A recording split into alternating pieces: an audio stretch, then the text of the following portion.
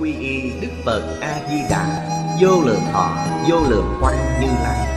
Nguyện cho hết thảy chúng sanh Nghe được danh hiệu của Ngài Đều có được tính tâm kiên cố Nơi bản nguyện siêu thắng Và cõi nước cực lạc thanh tịnh trang nghiêm. Con nay quy y pháp môn tịnh độ Tín nguyện trì danh. Cầu sanh cực lạc Nguyện cho hết thảy chúng sanh Đều được họ trì tu tập Phương tiện thành Phật tối thắng. Này Con nay quy y Đức Quan Thế Đại Thế Chí Bồ Tát Và Thanh Tịnh Đại Hải Chúng Bồ Tát Nguyện cho hết thảy chúng sanh Đều phát Bồ Đề Tâm, Sanh về cực lạc, Nhập thanh tịnh chúng, Chóng thành Phật Đạo.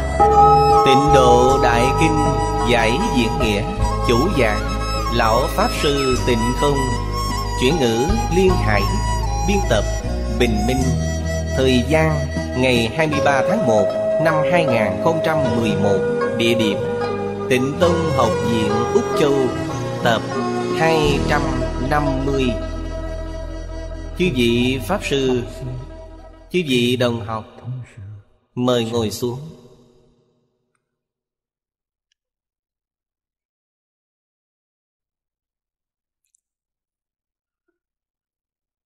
Mời quý vị xem Đại Thừa Vô Lượng Thọ Kim Giải, Trang 304 Trang 304 Bắt đầu xem kinh văn Hàng thứ năm Từ dưới đếm lên. Ngã tác Phật thời Tha phương thế giới Chư Bồ Tát chúng. Giang ngã danh giả Chứng ly sanh Pháp Hoặc Đà La Ni Đây là nguyện thứ 46 Nguyện Hoạch Đà La Ni. Thanh tịnh quan hỷ Đắc bình đẳng trú. Tu Bồ Tát hạnh Cụ túc đức bổn Ứng thời bất hoạch Nhất nhị tam nhận. Tiểu tiết này là nguyện thứ 47 Danh văn đắc nhận Ư chư Phật Pháp Bất năng hiện chứng Bất thối chuyển giả Bất thụ chánh giác. Câu cuối cùng Là hiện chứng bất thoái. Chúng ta xem Chú giải của Hoàng Niệm Lão. Đây là nguyện cuối cùng chương thứ 24 Chương bên phải có ba nguyện. Ba nguyện trong chương này. Từ hộ Đà La Ni trở lên Là nguyện Hoặc Đà La Ni thứ 46 Từ nhất nhị tam nhẫn trở lên Là nguyện văn danh đắc nhẫn thứ 47 Từ đây trở xuống là Nguyện hiện chứng bất thoái thứ 48 Nguyện thứ 46 Ly sanh giả Ly sanh tử giả Tam thừa hành nhân Nhập ư kiến đạo Nhân kiến địa lý Đoạn kiến tư hoặc Vĩnh ly tam giới chi sanh Thị dân chánh tánh ly sanh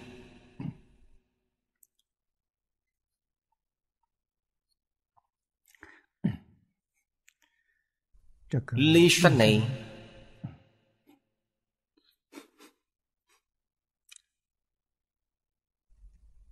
Trong chú giải Nói rất rõ ràng Là lìa sanh tử gì?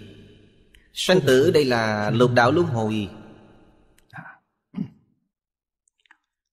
Tam thừa hành nhân Tiểu thừa A-la-hán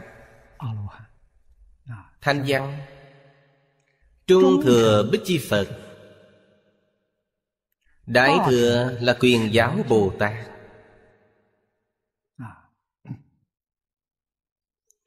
Họ nhập vào kiến đạo.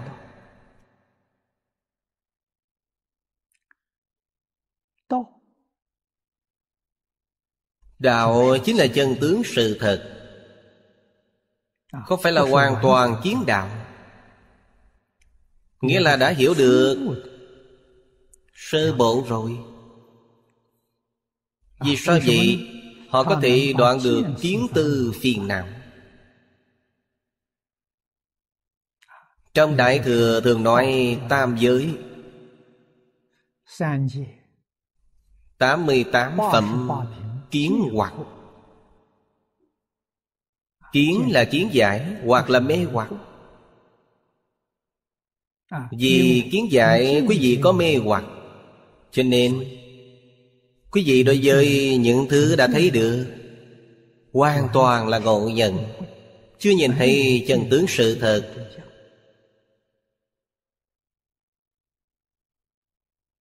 Đây là điều nghiêm trọng nhất trong phiền não. Học Phật thì phải bắt đầu đoạn từ nơi này Đoạn phiền não thì phải bắt đầu từ đây.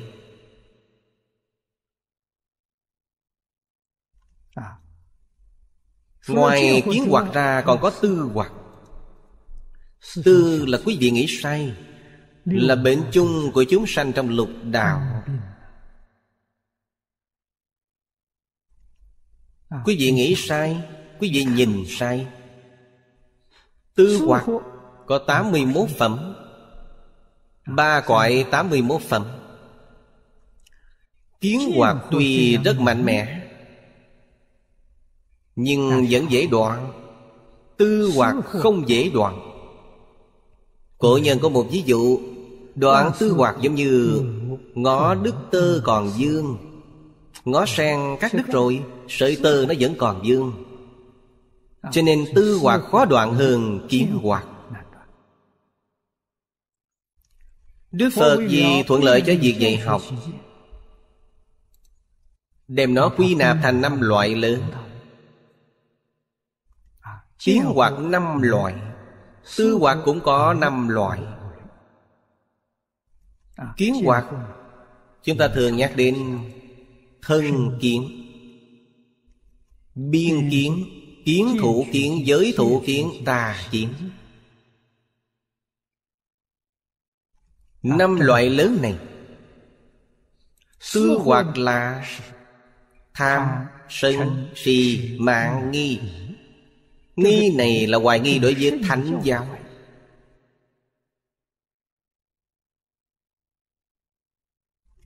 Hoài nghi đối với thánh nhân.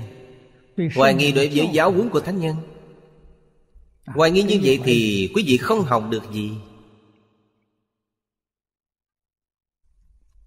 Giáo huấn của Thánh Hiền Phải dùng tâm thái như thế nào Quý vị mới có thể học được? Nhất định phải có tâm cung kính. Không có tâm cung kính Thì học không được gì.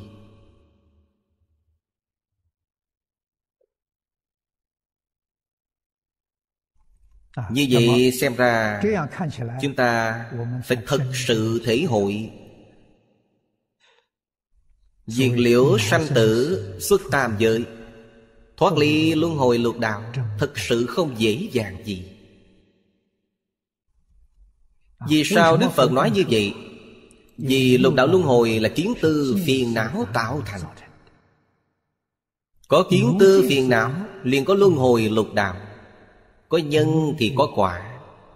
Nếu như đoạn được kiến tư phiền não Lục đạo luân hồi sẽ không còn nữa Lục đạo luân hồi đích thực là không phải thật, Giống như nằm mộng vậy. Quý vị ở trong mộng có cảnh giới này. Tỉnh lại rồi, Quý vị sẽ không còn cảnh giới này nữa. Nếu như kiến tư phiền não đoạn rồi, Quý vị sẽ tỉnh lại.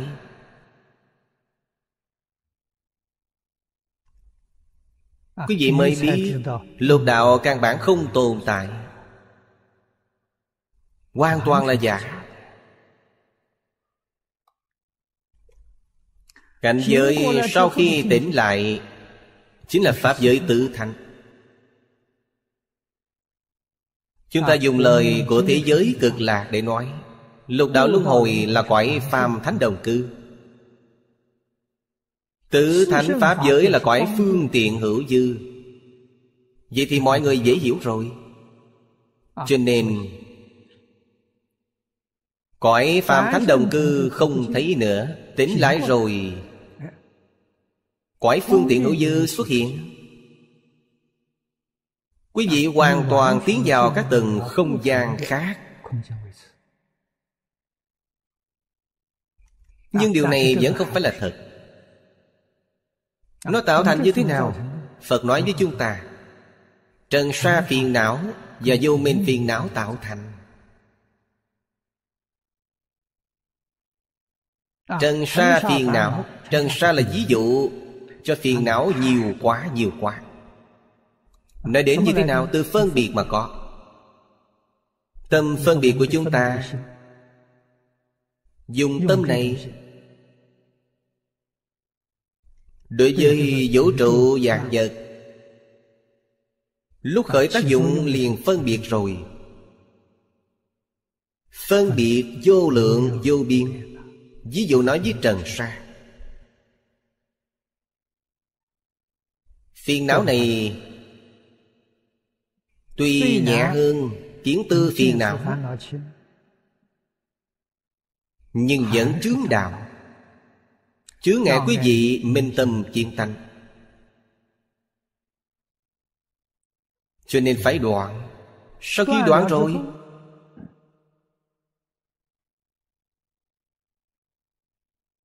Trong tứ thánh Pháp giới Quý vị liền chứng được Bồ Tát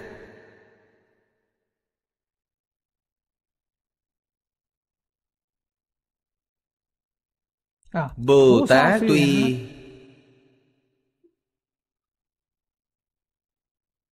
Trần sa phiền não đã đoạn được rồi Họ vẫn còn có vô minh phiền não.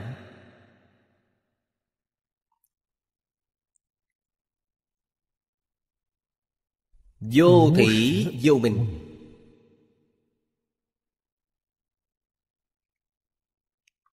Vô thị vô minh nếu như đoạn được rồi Tự thánh Pháp giới không thấy nữa. Cho nên là giả Không phải thật. Tự thánh Pháp giới không thấy nữa xuất hiện cảnh giới gì? Cõi thật bảo trang nghiêm của chư Phật Như Lai. Chúng ta nói chư Phật Như Lai Nếu như nói cõi thật báo trang nghiêm của bản thân chúng ta Thì cũng nói thông được. Đích thực là như vậy.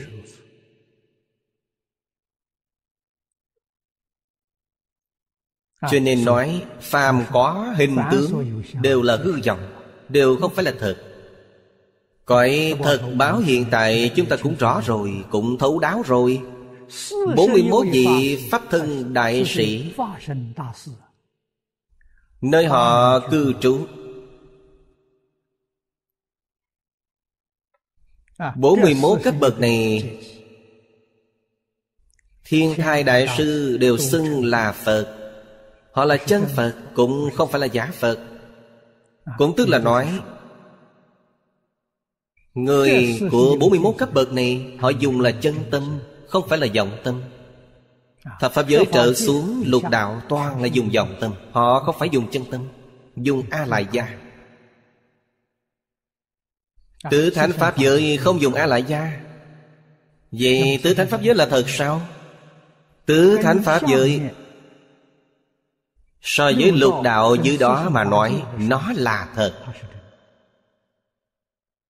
Lục đạo là giả. Tứ thánh pháp giới là giả. Không phải là thật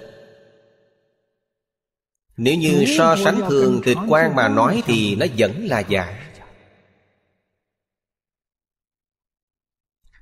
Với Kinh Hoa Nghiêm Đây là duyên giáo.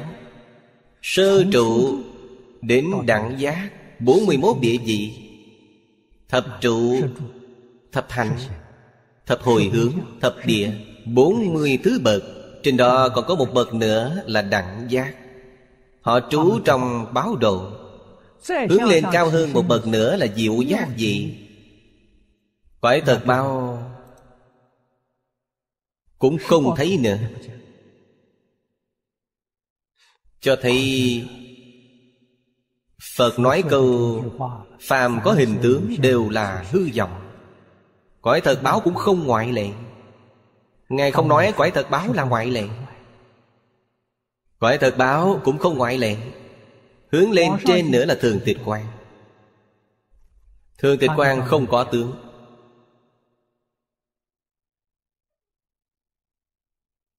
Có thể hiện tất cả tướng. Cõi thật báo cũng là thường tịch quan hiện ra. Vậy là hoàn toàn trở về với tự tánh rồi.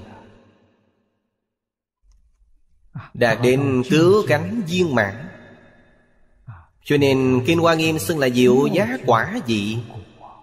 Vô thượng chánh đẳng chánh giác.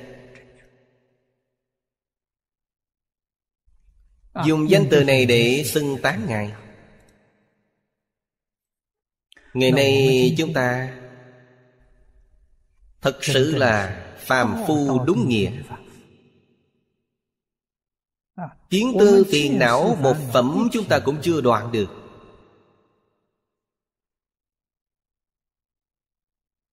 Chúng ta học Phật có thể nói là Đi học lớp mẫu giáo.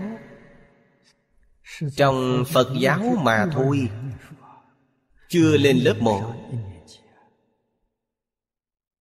Lớp một thì Kiến hoạt này phải đoạn được rồi. Đây là lớp một. Từ lớp 2 trở lên liền đoạn tư hoạt Tư hoạt khó đoạn Lớp 2, lớp 3, lớp 4, lớp 5, lớp 6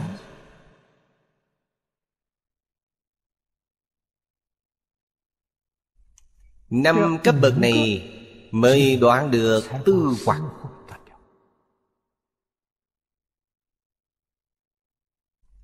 Nếu như chúng ta dùng cách nói của tiểu thừa Thì rất rõ ràng. Quý vị xem vị trí của chúng ta ngày nay Dùng tiểu thừa mà nói thì chúng ta là sơ quả hướng. Chưa chứng được sơ quả. Là hướng đến sơ quả Là phương hướng này Là mục tiêu này Chưa đạt đến được. Nếu như đạt đến được rồi Thì quý vị được gọi là chứng đắc sơ quả Tức là tiểu thừa sơ quả. Sau khi chứng được sơ quả rồi Lại hướng thượng nâng cao Gọi là nhị quả hướng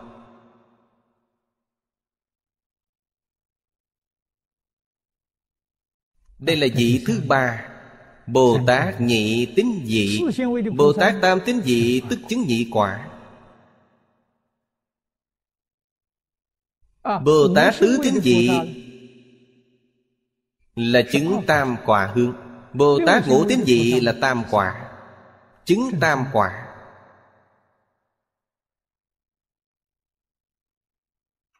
Thất tính dị mới là A-la-hán. Thoát ly luân hồi lục đạo. Cho nên tiểu thừa A-la-hán Tương đương với Trong Kinh Hoa Nghiêm nói Thất tín Bồ Tát trong thập tín Bồ Tát. Quả vị thứ bảy. Đến thứ tám trở lên.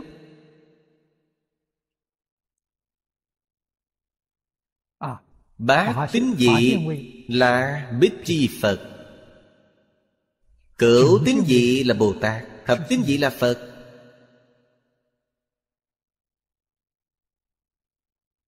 À, Ba giai đoạn này Đều đã đoạn được rồi.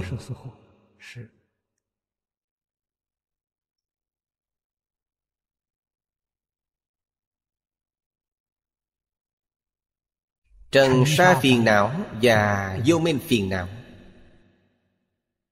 Vô minh phiền não đoạn rồi.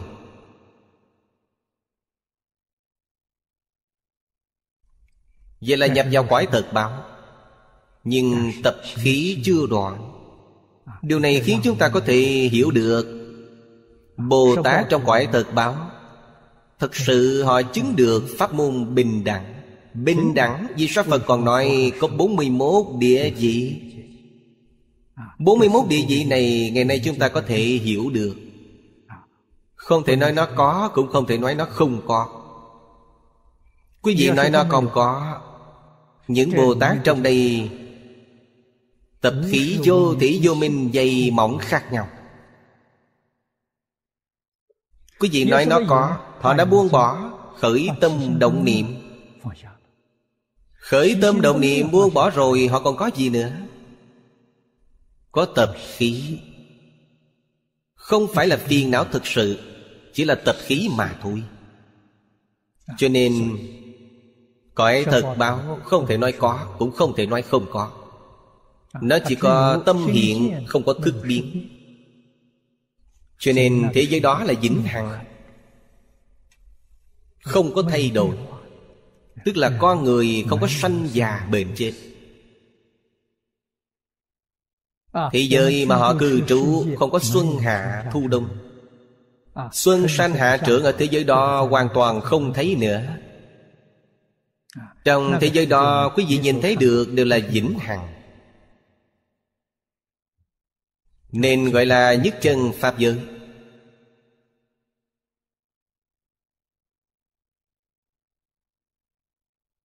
Những thứ này Chúng ta sơ lược hiểu rõ rồi Thấu đáo rồi.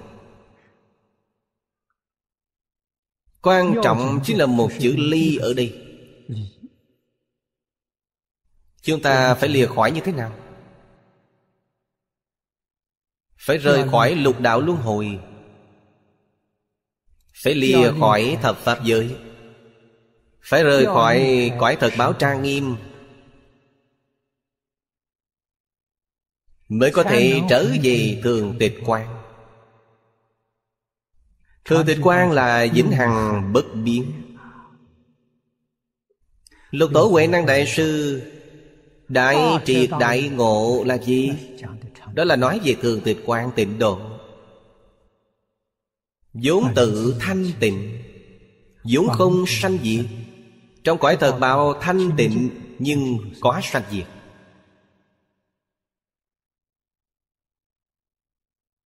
vốn tự đầy đủ.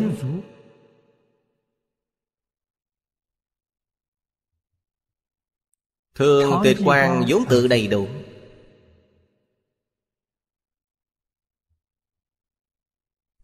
Cõi thật báo không phải là vốn tự đầy đủ. Sự đầy đủ của nó là do tâm hiện Nó là sở hiện Cõi thật báo là sở hiện Thường tịch quan là năng hiện Rất khác nhau vốn không dao động. Năng sanh dạng pháp, toàn là nói tự tánh.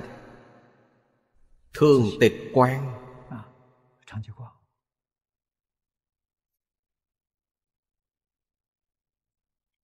Phật Thích Ca Mâu Ni, Lúc minh tâm chiến tánh. Đem những cảnh giới Ngài thấy được, Nói ra hết. Giảng một bộ Đại Phương Quán Phật Hoa Nghiêm Kinh. Đó là gì? Khắp Pháp giới hư không giới. Tánh tướng, Lý sự, nhân quả của tất cả Pháp. Đây là điều nói trong Kinh Hoa Nghiêm. Ngài giảng rất tương tận. Huệ năng đại sư nói cho chúng ta đơn giản hơn. Huệ năng đại sư nói năm câu chính là Rút gọn của Kinh Hoa Nghiêm. Triển khai năm câu của Đại sư Huệ Năng Chính là Đại Phương Quán Phật Hoa Nghiêm Kinh.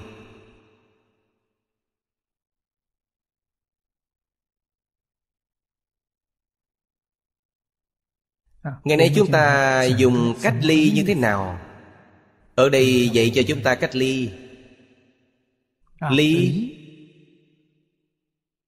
Chính là buông bỏ.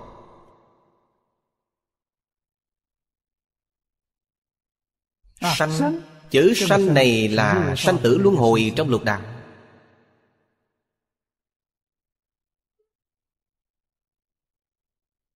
Trong Kinh giáo Đại Thừa thường nói Chính là đoạn chiến tư hoặc Vĩnh ly tam giới chi sanh. Đây gọi là chánh tánh ly sanh.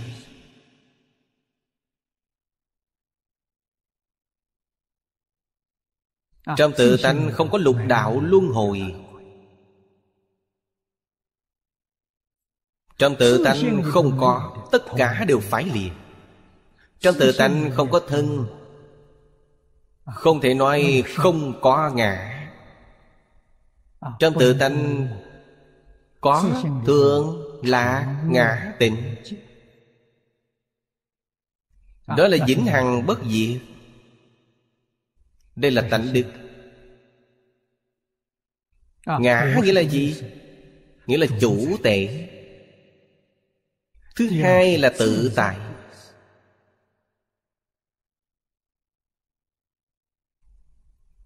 Trong thân của chúng ta không có ngã Thân tôi không làm chủ được. Tôi nếu làm chủ được, Thân tôi tướng mạo tốt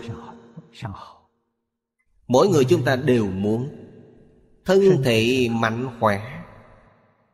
Vĩnh diện không sanh diệt, Làm không được. Quý vị không làm chủ được.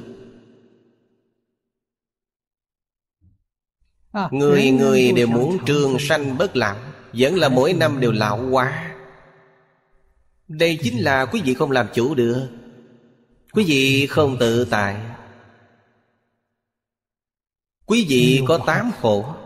Có khổ sanh lão bệnh tử, Có cầu bất đắc, Có ái biệt ly, oán tán hội. Quý vị làm sao mà tự tại được?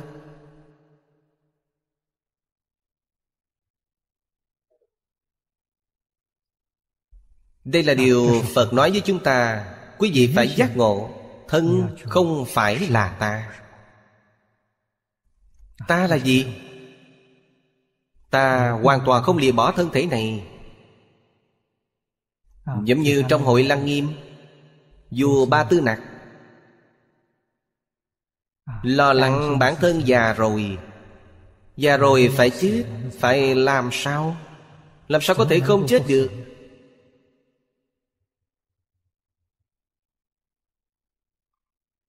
Phật nói với chúng ta Thân thể của chúng ta Có sanh diệt Có sanh diệt tức có sanh tử. Nhưng trong thân thể của chúng ta đồng thời tồn tại một thứ không có sanh diệt. Không có sanh diệt nó sẽ không có sanh tử. Trong thân thể này có hai thứ. Dùng lời hiện tại mà nói Một là vật chất Một là tinh thần. Vật chất Có sanh tử Tinh thần không có sanh tử. Tinh thần ở đâu? Phật liền hỏi ông ấy Và nêu một ví dụ là con mắt. Mắt sẽ nhìn được. Tánh thấy này Không có sanh tử. Nó không già. Phật Thích Ca Mâu Ni nêu một ví dụ Hỏi ông ấy Ông nhìn thấy nước sông Hằng từ lúc nào là lần đầu tiên nhìn thấy lúc ba tuổi. Mẫu thân dẫn ông đi qua sông Hằng, Nhìn thấy nước sông Hằng, Thấy được nước sông Hằng. Bây giờ ta chỉ nói thấy, Không nói những việc khác.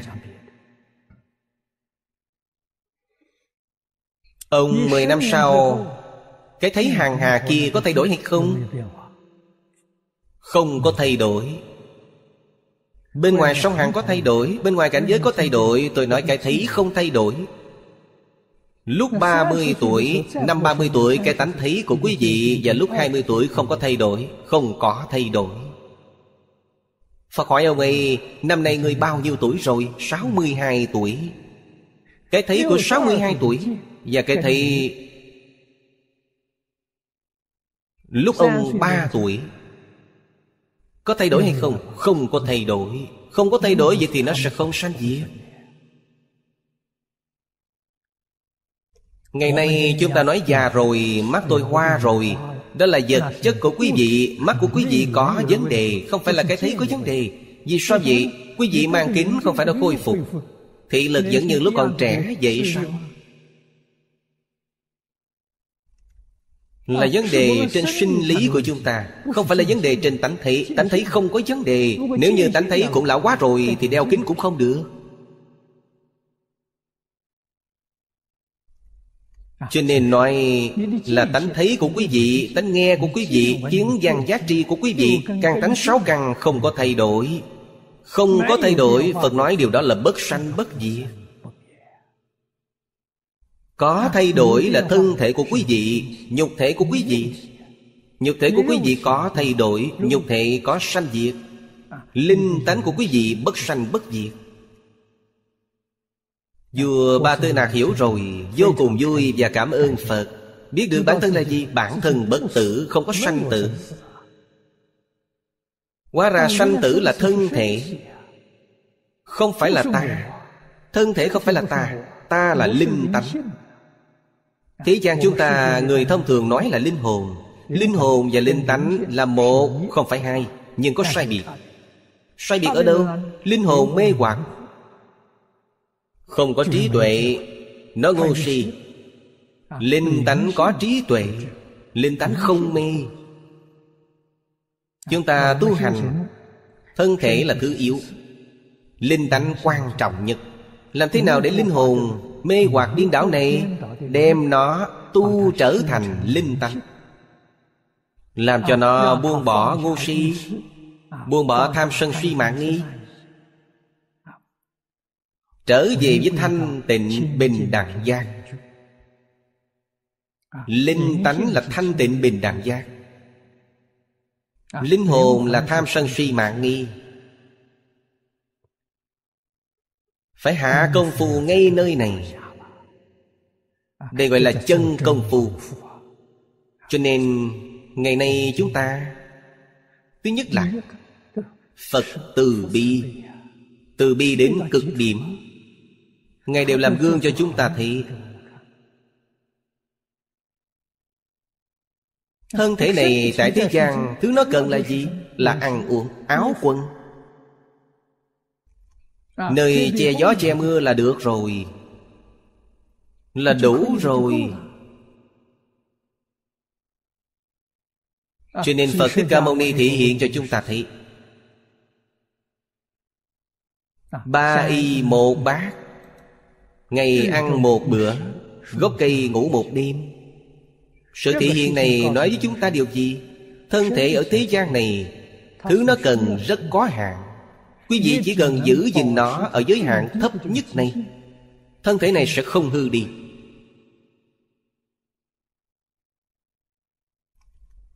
Đây gọi là gì? Cổ nhân nói là tri túc thường lạc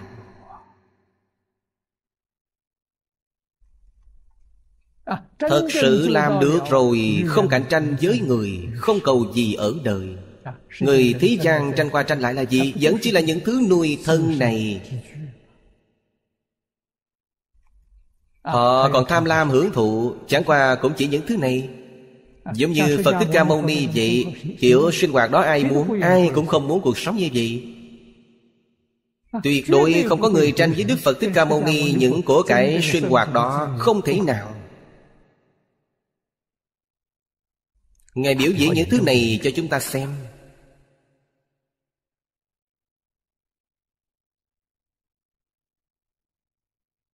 Chúng ta không có công phu giống như Phật Thích Ca Mâu Ni vậy Đó gọi là thật sự công phu. Tâm địa của Ngài thật sự là thanh tịnh.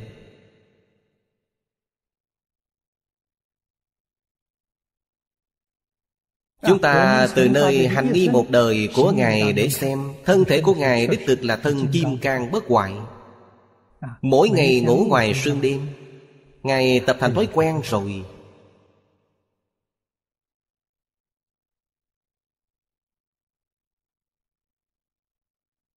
Đây là học tập Ấn Độ cổ Trong tôn giáo và triết học Những đại đức khổ hạnh. Đem cuộc sống vật chất Hạ thấp xuống mức độ thấp nhất. Nghèo nàn nhất. Ngài được tự tại. Tâm Ngài vĩnh viễn là định. Ngài không tham Không sân Không si Không có ngạo mạn Không hoài nghi Ngài không còn nữa.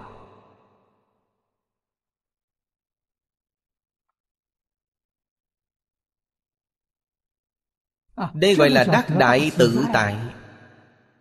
Là cuộc sống đại tự tại.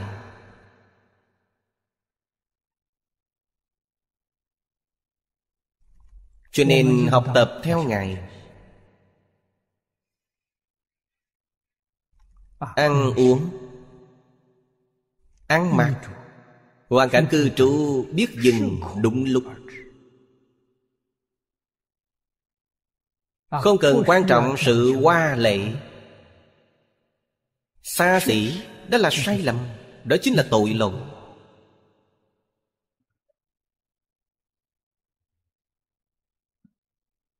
Tâm chúng ta mới có thể trở về với thanh tịnh. Vĩnh ly tam giới. Tham sân si mạc nghi.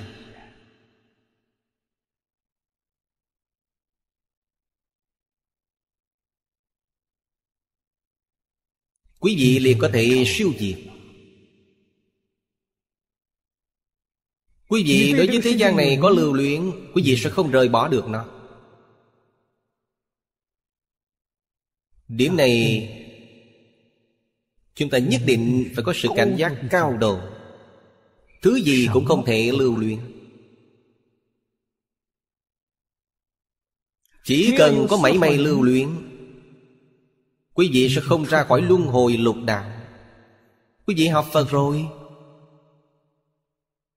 Đối với thế gian, Quý vị có thể buông bỏ. Nhưng Phật Pháp không buông bỏ được.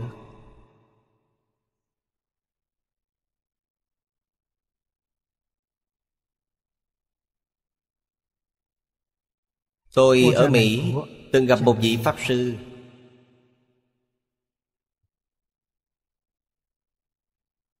Ông yêu thích sưu tầm đồ cổ. Ông sưu tầm những gì? Tượng Phật. Những cổ vật thời cổ đại Như lư hương, pháp khí Ông thích sưu tầm những thứ này Vô cùng đắt đỏ. Ông có một căn phòng. Căn phòng đó đều là đồ quý báu. Sưu tầm bảo vật Mỗi một thứ giá trị đều vô cùng cao. Tôi đến San Francisco Giảng kinh. Ông mời tôi đến tinh xá ông ấy cúng trai Mời tôi dùng cơm. Mở cửa bảo tàng của ông ấy để tôi vào tham quan. Thật sự là bảo vật. Cánh cửa đó không dễ dàng gì mở ra. Không phải là người ông ấy rất tôn trọng. Ông ấy sẽ không để cho họ vào. Kể ra cũng khá Để cho tôi vào xem một tí. Phiền phức lỡ đâu những thứ này ông không thể quên được. Trong tâm thật có. Nếu như sau khi chết rồi Ông ấy đi về đâu? Chúng ta liền hiểu được Sau khi chết rồi nhất định không rời xa được Căn phòng sưu tầm đồ cổ đó. Căn phòng đó có chuột, có gián có kiến. Ông ấy liền đầu thai đến đó. Vĩnh viễn giữ kỹ những thứ của ông ấy. Quý vị nói xem như vậy có phiền phức không? Ông nếu như không chịu buông bỏ Ông ấy sẽ không thể nào liệt khỏi được. Còn có một loại yêu thích Tôi cũng thuộc về kiểu đó. Yêu thích kinh sách. Hiện tại thì sao? Hiện tại tôi buông bỏ rồi. Tôi yêu thích thu thập kinh sách. Yêu thích thu thập kinh sách. Luôn luôn ghi nhớ những thứ này. Tương lai chết đi rồi phải làm sao Trong kinh sách có một con mọt sách. Mọt sách chính là người yêu thích kinh sách. Vậy thì đáng sợ biết bao.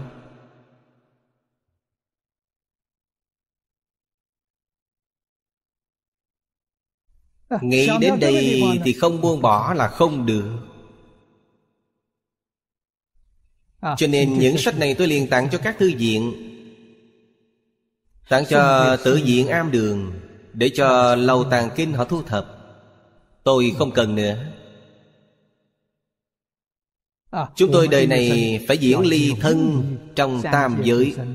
Chúng ta hiện tại biết rồi Chỉ cần một bộ kinh vô lượng thọ là được rồi. Một câu A-di-đà Phật. Ngoài ra không cần gì nữa. Thứ gì cũng buông bỏ hết Học Đại sư Liên Trì, Tam tạng 12 bộ kinh để cho người khác ngộ. Tám dạng bốn ngàn tế hạnh để cho người khác hành. Tôi chỉ một bộ kinh A-di-đà Một câu A-di-đà Phật Là Đại sư Liên Trì. Đây gọi là ly sanh pháp.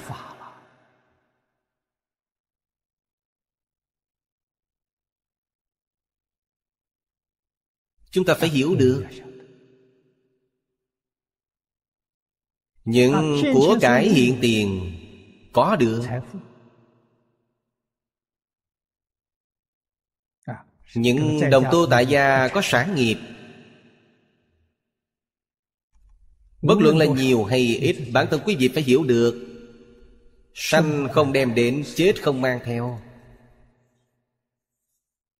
Có được là gì? quý vị có phước báo. Phước báo Quý vị muốn có được phước báo này Càng tích lũy càng lớn. Phước báo đó tặng cho người không có phước báo đi hưởng. Chăm sóc người khác. Phước báo mọi người hưởng Không nên hưởng một mình. Mọi người hưởng Phước báo này của quý vị sẽ vô cùng lớn Đời sau càng lớn hơn đời trước. Lớn đến nỗi thế gian này không dung được. Liền đưa quý vị sanh lên cõi trời. Hưởng thiên phước. Đại Phạm Thiên Dương. Nếu như phước báo lớn hơn Đại Phạm Thiên Dương nữa Lại đưa quý vị lên trên nữa Đưa lên đến Ma Hê Thủ La Thiên Dương. Quý vị từng bước lên cao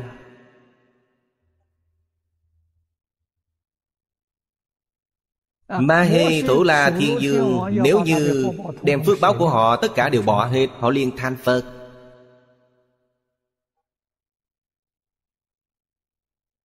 Điều này cần phải có trí tuệ. Người không có trí tuệ Họ không nghĩ đến được. Người không có trí tuệ cũng không làm được.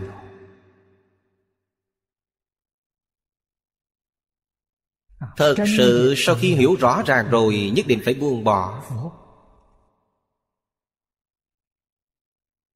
Trong kinh Phật thường gọi nhị túc tôn. Túc là mạng túc. Viên mạng. Nhị là gì? Một là phước báo viên mạng. Thứ hai là trí tuệ viên mạng. Chúng ta quy Phật nhị túc tôn. Trong viên mạng phước báo và trí tuệ Phật là vị xếp số một Không thể nào so sánh được với Phật. Phước báo của Phật hoàn toàn là để cho mọi người hưởng. Bản thân Ngài không hưởng. Cho nên phước báo của Ngài không ai có thể sánh được. Trí tuệ của Phật viên mãn rồi. Vì sao vậy? Hoàn toàn là lợi ích tất cả chúng sanh. Giúp chúng sanh phá mê khai ngộ Phước báo của Phật giúp chúng sanh ly khổ được vui. Quý vị xem xem Điều này quá lớn lao. Trí tuệ giúp người phá mê khai ngộ. Phước báo giúp người lìa khổ được vui. Phước báo của Ngài là viên mãn. Chúng ta có phước báo là tự lợi. Có trí tuệ cũng là tự lợi không chịu lợi tha, Vậy là không được rồi. Bởi vì tự tha là một, không phải hai. Quý vị muốn hỏi vì sao nhất định phải lợi tha? Bởi vì tự tha là một, không phải hai.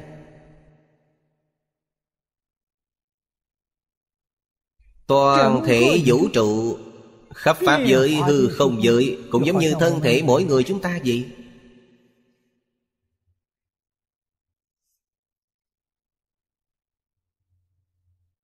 Mỗi chúng ta Một người giống như một tế bào trong thân thể chúng ta vậy.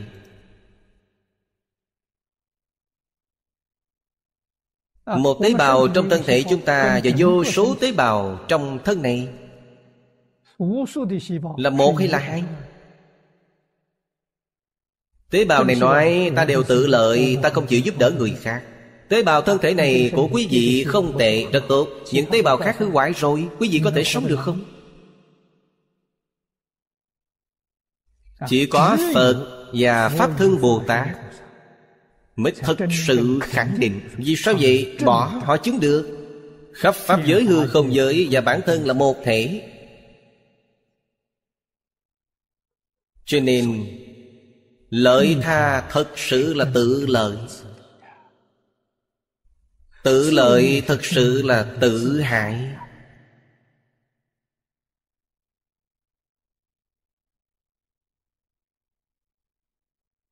Đạo lý này Chân tướng sự thật này Chỉ có trong kinh Phật Đại Thừa Mới giảng một cách thấu triệt.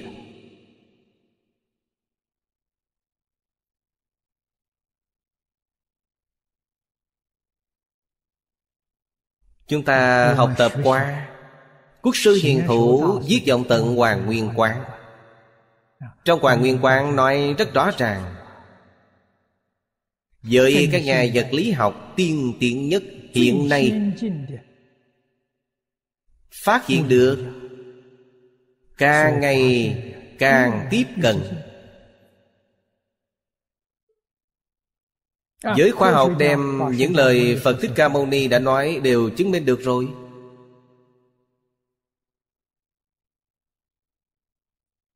Cho thấy lời Phật giảng không phải là giả Nếu như chúng ta cũng có thể khẳng định được Cũng có thể lãnh ngộ Thể hội cảm ngộ được Chúng ta nhất định là tự động tự phát. Quên mình vì người.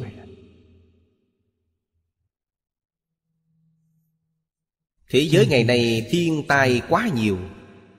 Nơi nào thiên tai nặng nhất thì chúng ta đến đó. Vì sao vậy? Nếu như quý vị một lòng vì chúng sanh, Tâm thái quý vị tốt, Từ trường của quý vị tốt, Quý vị đến đó sẽ làm cho nơi đó Những từ trường bất thiện, Từ trường ác liệt bị làm cho Giảm nhẹ bớt một phần. Ví dụ như nơi đó là sóng lớn, Sóng gió rất lớn, Nơi quý vị đứng là nước bình lặng. Lúc nước này đổ vào sóng lớn Sóng lớn sẽ thấp bớt. Quý vị tuy cũng theo sóng mà trôi Nhưng quý vị làm cho sóng lớn hạ thấp bớt. Điều này chứng tỏ người thật sự tu hành. Đến nơi mà tạo ác nghiệp đó Sẽ làm cho ác báo của họ được giảm nhẹ. Phải có quyết tâm Cho dù trong tai nạn có chết đi Thì không có gì đáng tiếc Vì sao vậy? Vì chết rồi Thì hiểu được thân thể này chết ở trong tai nạn đó Linh tánh càng nâng cao hơn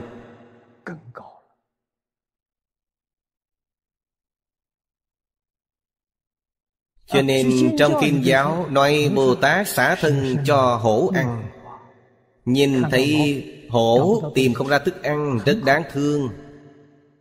Đói khát. Bồ Tát thấy được Tình nguyện đem thân thể cho hổ ăn.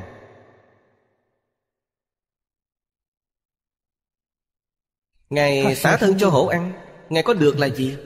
Ngài nâng cao rồi. Đẳng cấp của Bồ Tát nâng cao Sơ trụ Bồ Tát Chốc lá đã nâng cao đến Nhị trụ, tam trụ, tứ trụ Hướng thượng đi lên. Không thiệt thòi.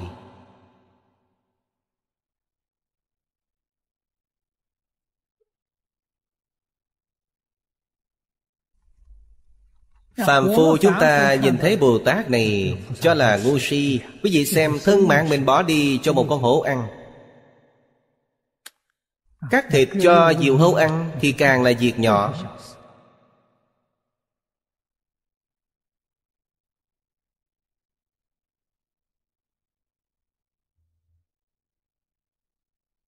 Nhẫn nhục thiên nhân Bị ca lợi dương cắt xẻo thân thể. Công đức này lớn. Ngài vì giáo hóa chúng sanh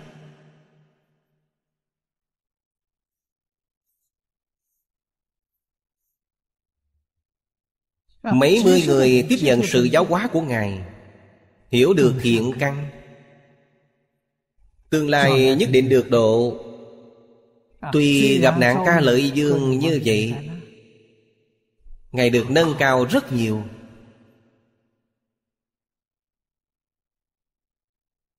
Nên thành phật trước kỳ hạn đây là bổn sư thích ca mâu ni phật của chúng ta. Câu chuyện bồ tát đạo trước lúc chưa thành phật.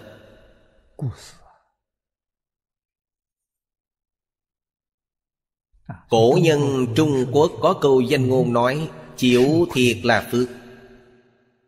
Quý vị có tình nguyện chịu thiệt hay không?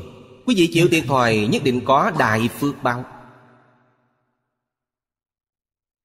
người hiểu được nhân quả biết được. Có thể lợi dụng được người khác hay không? Không thể được. Con người có bị thiệt thoại hay không? Không có. Cũng không thể nào. Chắc chắn không có.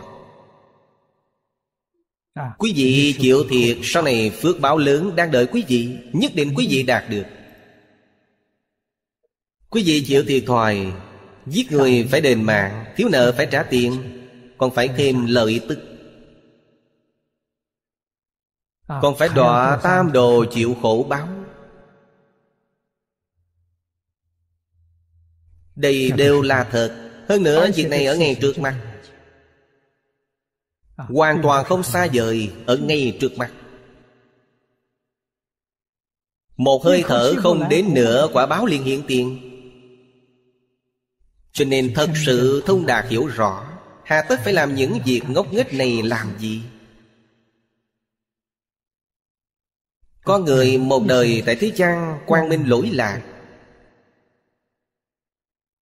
Không có ý niệm nào tổn thương đến chúng sanh. Quý vị tự tại biết bao. Niệm niệm Đều đang nghĩ cho tất cả chúng sanh Những phúc lợi thật sự của họ. Phúc lợi thật sự là giáo dục đại thừa.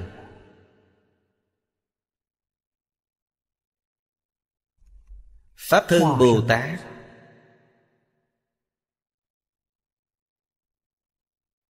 Ứng hóa tại thế gian Bất luận là thân phận gì Cũng không rời đại thừa.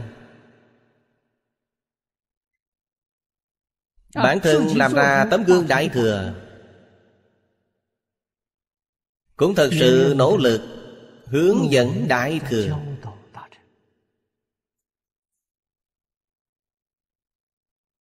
Đây là lợi ích chân thật trong lợi ích.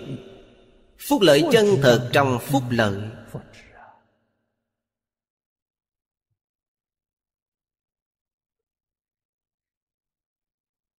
Ai biết được? Chư Phật Như Lai Pháp thân Bồ Tát biết được. Cho nên họ thật làm.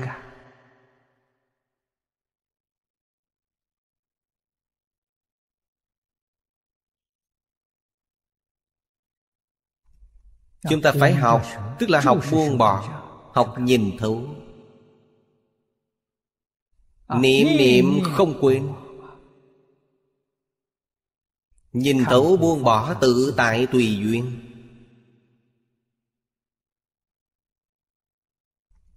Cuối cùng Quy về niệm Phật. Không có ai không giảng sanh Không có ai không thành Phật.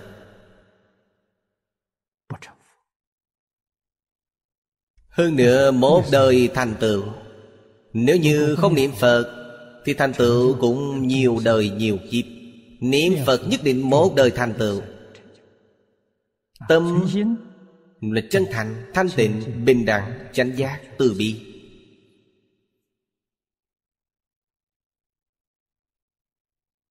Đây là Đại Thừa.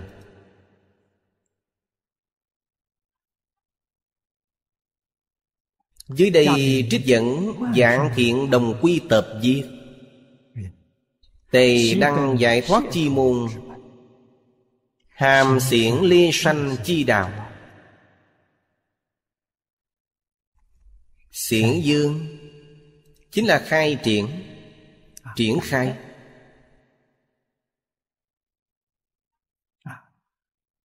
Chú ý nơi một chữ tề và chữ hàm.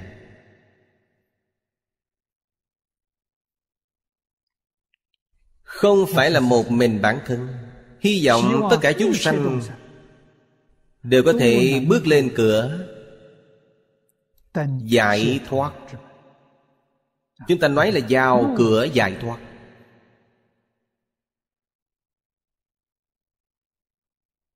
Chúng ta muốn vào Tất cả chúng sanh cũng muốn vào Giải là gì? Là giải trừ phiền não. Thoát là gì? Thoát ly sanh tử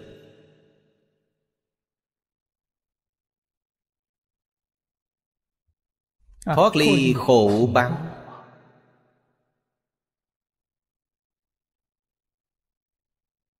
Hàm cũng như vậy.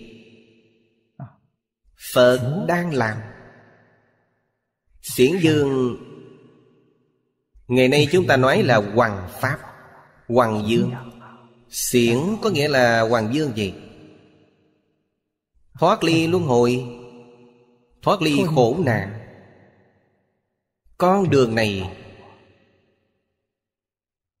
Phương pháp này Đạo là phương pháp Là con đường. Xa rời lục đạo Là phân đoạn sanh tử. Thập Pháp giới Là biến dị sanh tử Hai loại sanh tử đều ly. Quý vị liền chứng đắc giải thoát. Sự giải thoát này Chính là cõi thật báo trang nghiêm.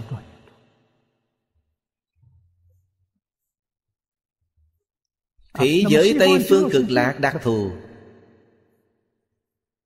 Đây là nơi chúng ta nhất định phải đi. Vì sao vậy? Cõi phàm thánh đồng cư hạ hạ phẩm giảng sanh. Được 48 nguyện của Phật A-di-đà gia trì.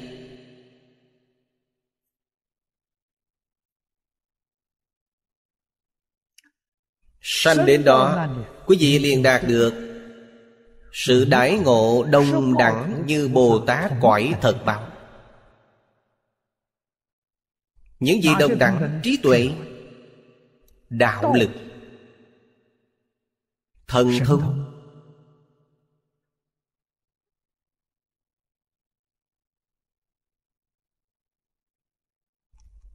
Tất cả và tất cả đều không khác gì với Bồ Tát ở cõi thật bằng.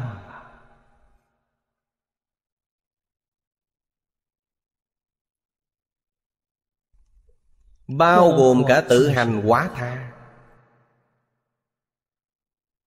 Vô lượng pháp môn quý vị đều đạt được hết. Trong cõi Phật khác không phải tình hình như thế này.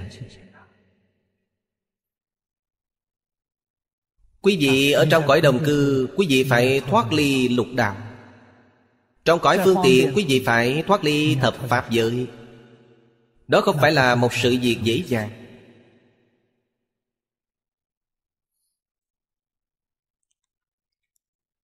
Thập phương Bồ Tát. Nhờ nghe danh này Đều chứng Pháp ly sanh này. Pháp ly sanh này là Pháp gì?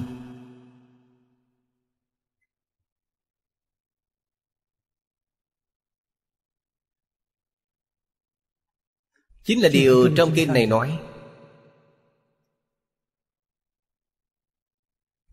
Nhất hướng chuyên niệm Cầu sanh tịnh độ. Đây chính là Pháp ly sanh.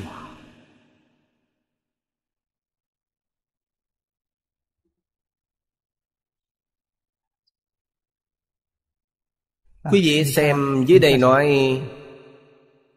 Tịnh Đắc Đà La Ni.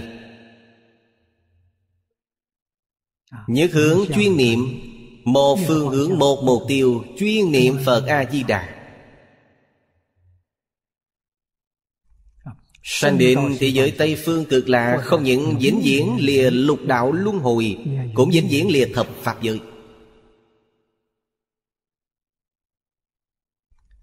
Phương pháp này chỉ có tịnh độ có.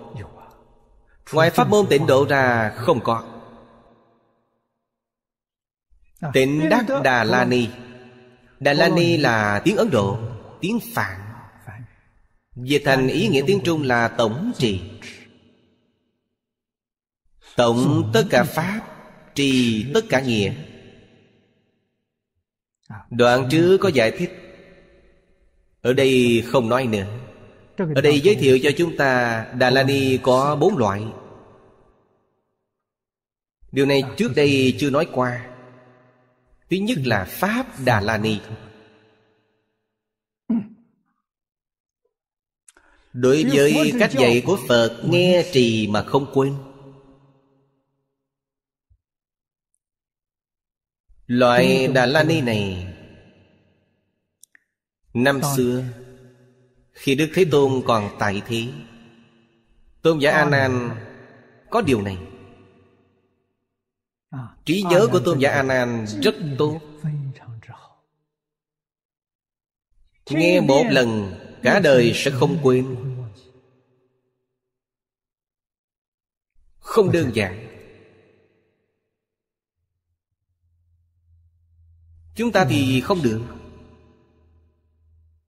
Lúc tôi còn trẻ Tức là năm hơn 20 tuổi Học kinh giáo với thầy Lý.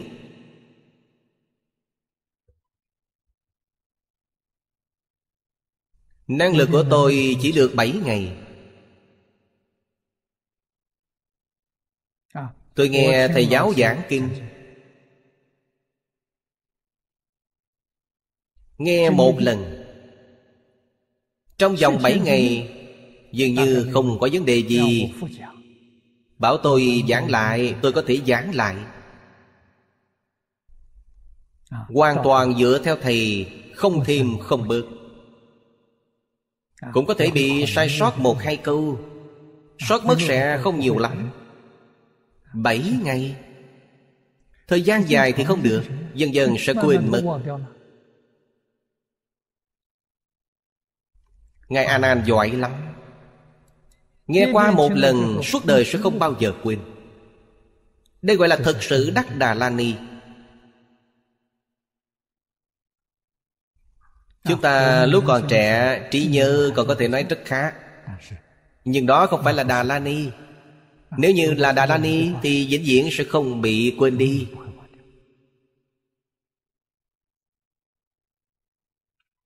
Thứ hai là nghĩa Đà La Ni. Đối với nghĩa của các Pháp Luôn hành trì mà không quên.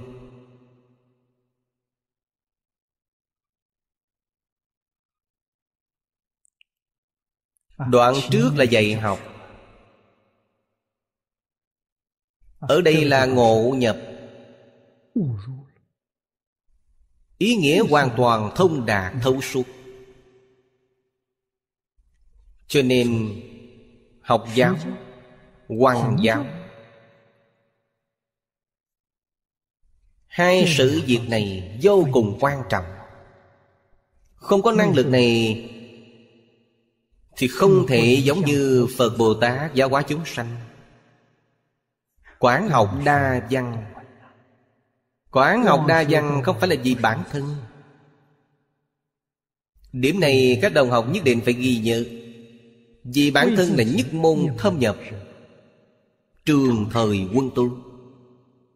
Bản thân đắc tam muội Đại khai viên giải Đại triệt đại ngộ Điều này vì bản thân.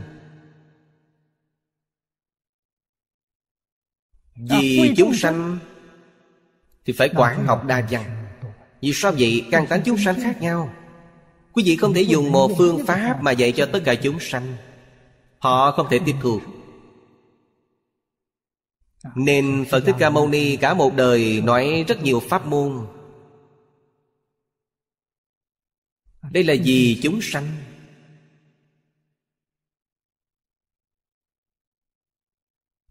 Dần dần dẫn dắt chúng sanh.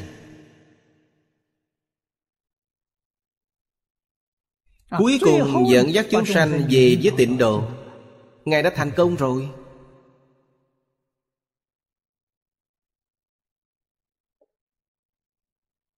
Phương pháp này chúng ta hiểu được rằng Chúng ta phải học.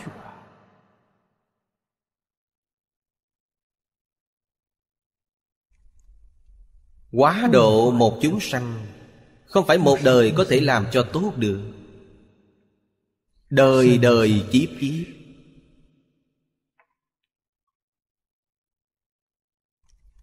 Gấp cũng không được. Phải hàng thuận chúng sanh. Tùy hỷ công đức. Chúng sanh quan hỷ. Mới có thể thành tựu.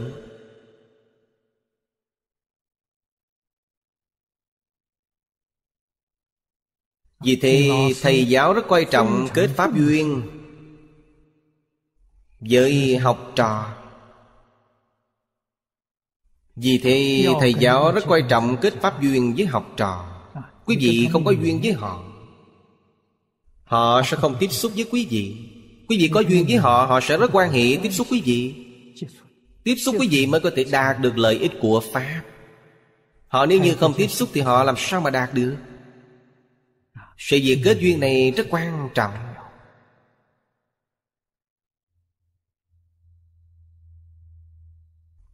Kết duyên phải biết bố thí.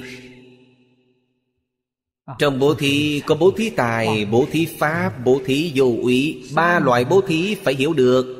Phương tiện thiện xảo. Vận dụng nó một cách xảo diệu. Ba loại bố thí Kết duyên với chúng sanh. Dẫn dắt chúng sanh trở về Với Đại Thừa Cuối cùng trở về với tịnh độ.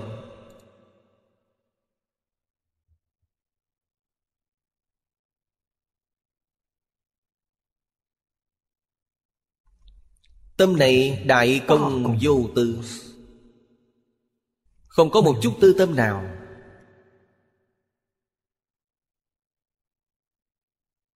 Thật sự là Toàn tâm toàn lực vì chúng sanh phục vụ.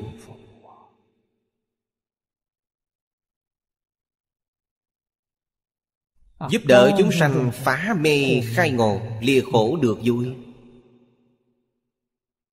Lìa khổ rốt ráo. Đắc lạc rốt ráo.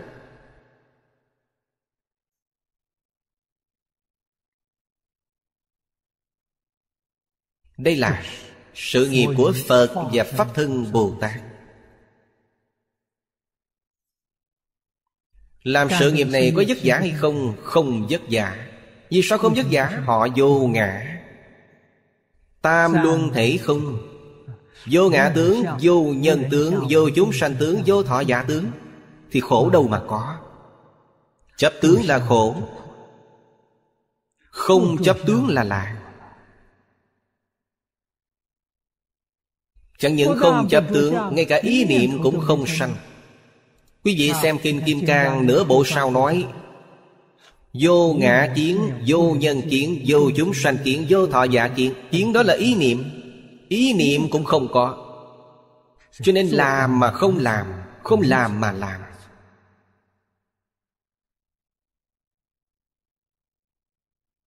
Pháp hệ sung mãn Học nhi thời tập chi bất diệt duyệt hồ.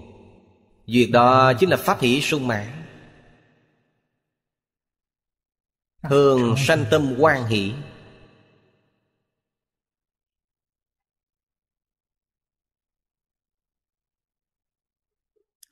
Ý nghĩa thứ ba của tổng trì chính là chú Đà La Ni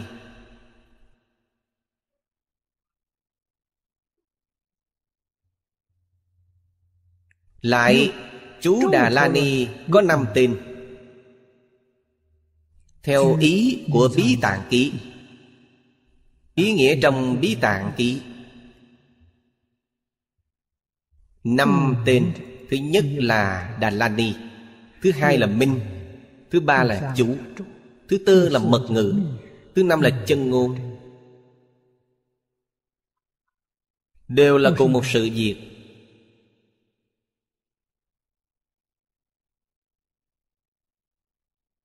Cũng tức là nói Đà La Ni có năm tên gọi.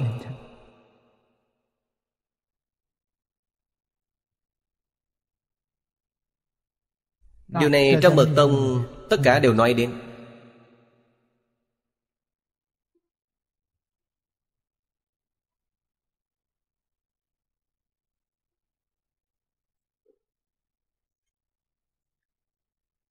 Dưới đây nói Đà La Ni là lúc Phật phóng quang Nói ở trong quang vậy. Nên nói Đà La Ni và Minh Nghĩa của nó không khác Minh là quang.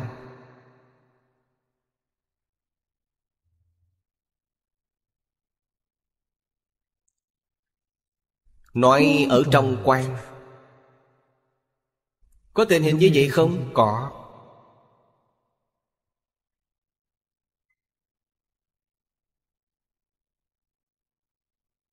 Tôi còn thấy được.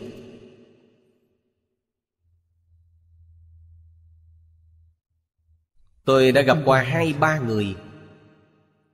Họ có thể nghe thấy âm thanh. Bên ngoài đến truyền lời. Họ truyền đến là kinh là chú.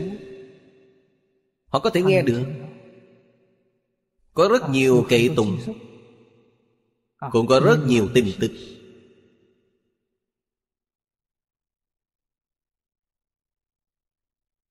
Người có được năng lực này không nhiều.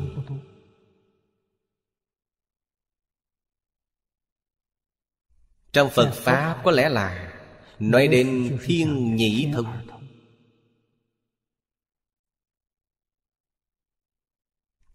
Dùng lời hiện tại để nói họ có năng lực Nghe được âm thanh Từ tầng không gian khác.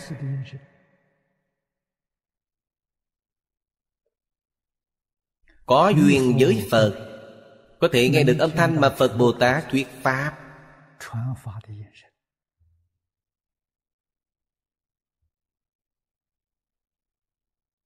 Sự. Việc này tôi Đã gặp qua hai người rồi Họ đều đến hỏi tôi Những thứ này là thật hay là giả?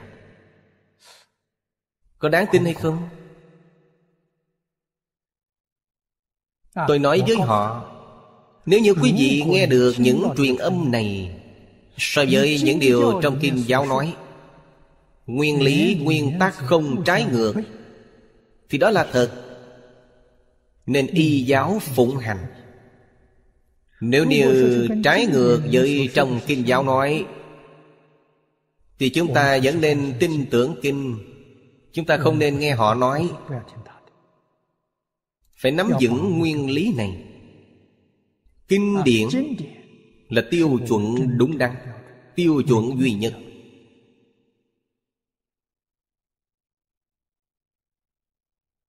À, Kinh Phật mà người Trung Quốc phiên dịch Chúng ta nên có lòng tin đối với nó. Nhất định không được hoài nghi. À, Phật nói phiền não căn bản tham sân si mạng nghi này Có lẽ chính là chỉ cho sự việc này. Nếu như đối với phiên dịch nảy sinh hoài nghi Thì chúng ta không còn gì nữa cả. Tổn thất rất lớn rất lớn.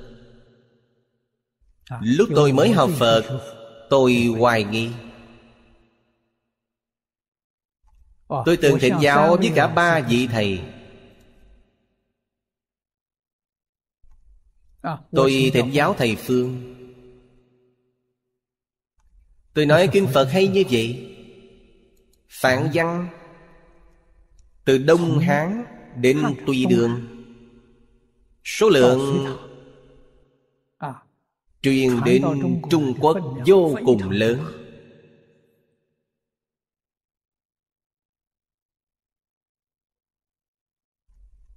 Có một số người Xuất gia Trung Quốc Đến Ấn Độ thỉnh kinh về. Cũng có những cao tăng Đại Đức Ấn Độ đến Trung Quốc Truyền giáo họ đem đến.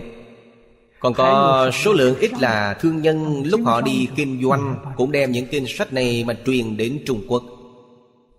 Phân lượng rất nhiều. Phiên dịch không phải hoàn toàn phiên dịch ra hết sau khi đến Trung Quốc phải trải qua chọn lọc. Nói cách khác, Những sách thích hợp với tình hình Trung Quốc, Thích hợp với văn hóa bản địa, Yêu cầu mới phiên dịch nó đầu tiên. Công trình phiên dịch rất lớn, Trải qua sàng lọc. Nhiều thứ tốt như vậy, Vì sao không bảo tồn lại? Toàn bộ đều thất truyền. Không còn nữa. Đây là đạo lý gì? Chúng ta hiện nay con người biết được những thứ tốt mà bảo tồn lại. Cổ nhân cũng hiểu được. Đời này qua đời khác truyền xuống, Vì sao lại bị thất truyền? Thầy Phương nói với tôi. Thầy nói, ông không biết. Người Trung Quốc ngày xưa Và người Trung Quốc hiện tại không giống nhau. Tôi nói không giống nhau như thế nào? Người Trung Quốc hiện tại không có tính tâm đối với bản thân. Cái gì cũng người nước ngoài tốt Người Trung Quốc ngày xưa có lòng tin. Đối với truyền thống của mình có lòng tin. Đó là thứ không gì sánh bằng Lòng tự tin Cho nên Kinh Phật sau khi phiên dịch ra tiếng Trung Người phiên dịch này khẳng định Mọi người đều khẳng định. Nhất định là nguyên vị. Phiên dịch hay đến như vậy không có biến chất. Hơn nữa văn tự trung văn Càng hoa mỹ hơn phạn văn Nói cách khác Sau khi phiên dịch thành trung văn Kinh điển trung văn có thể thay thế phạn văn Thay kinh điển nguyên văn Không cần đi xem bản tiếng phạn nữa. Quý vị nói xem hào khí này. Khí phách này Đâu giống người Trung Quốc hiện tại?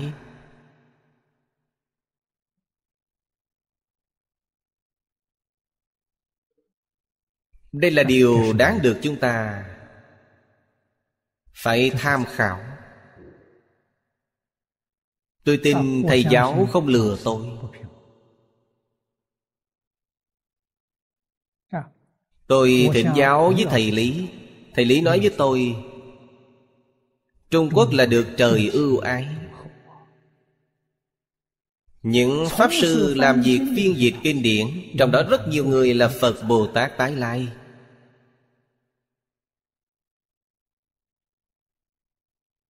Thầy Phương là một nhà triết học Không nói đến Phật Bồ Tát Tái Lai. Thầy Lý nói với tôi Trình độ thấp nhất là tam quả trở lên.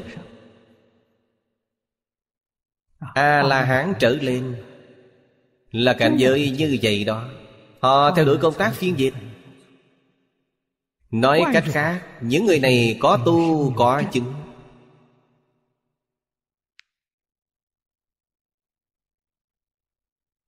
Bây giờ tìm đâu cho ra những người chứng quả. Chỉ có thật sự chứng nhập Vào cảnh giới Phật Bồ Tát. Họ phiên dịch mới không có sai lầm.